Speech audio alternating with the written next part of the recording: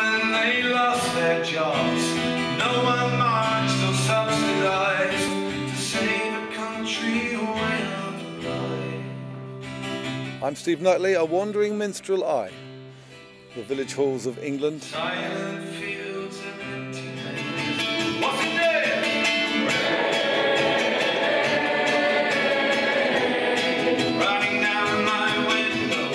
Had about an, an idea about a year ago of, of getting people to invite me to village halls. Not all of them people that have promoted shows before. Well, I didn't want people to, to think that there was any big mystery to putting on a show. I just need a room the size of a, a badminton court. I don't want to use the stage. I play in the middle of the room. I don't need lighting. I don't need a PA. I just need the middle of a room, in the middle of a hall with chairs spaced around me.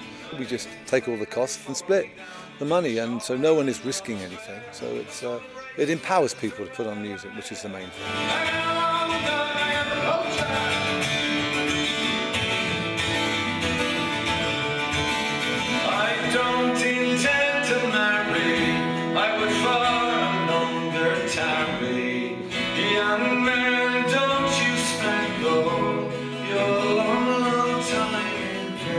Great. I've got lots of not just traditional songs, but songs I've written about, you know, rural villains or countryside issues or stories about country people, and now I get to, to take them to their their habitat.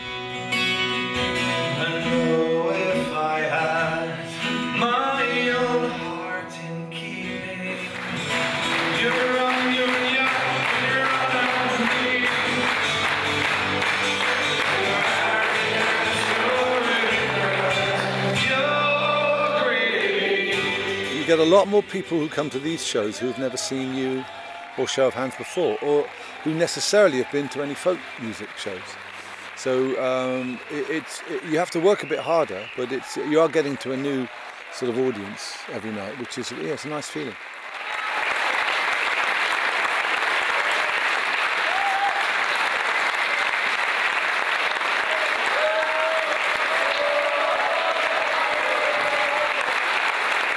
Thank you so much. Enjoy the song.